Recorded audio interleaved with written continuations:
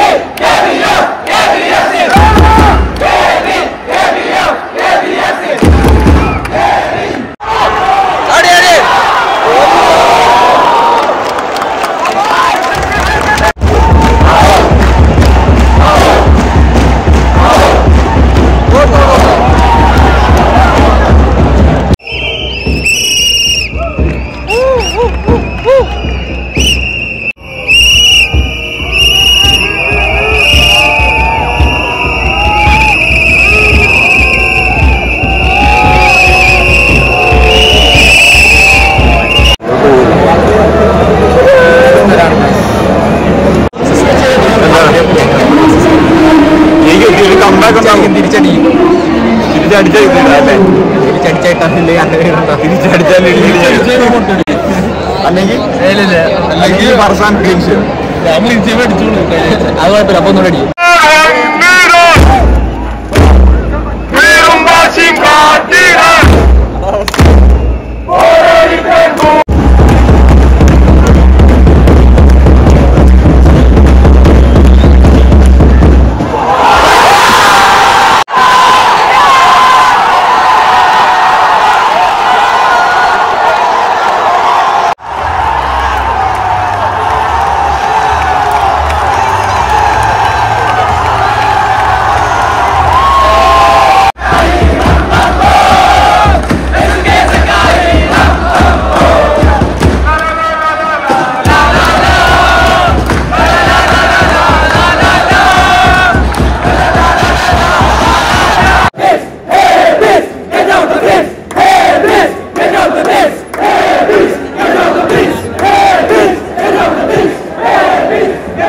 네.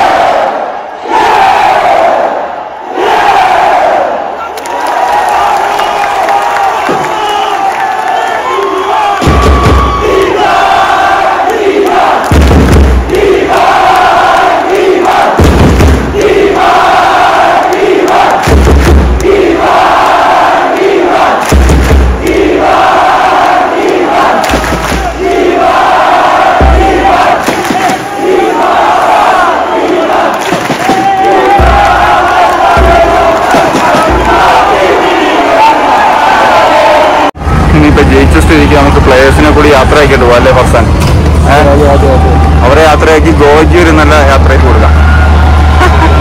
കഴിഞ്ഞ മത്സരം തോറ്റ് നമ്മൾ ഇവിടുന്ന് ഇങ്ങനെ കാര്യം പറ.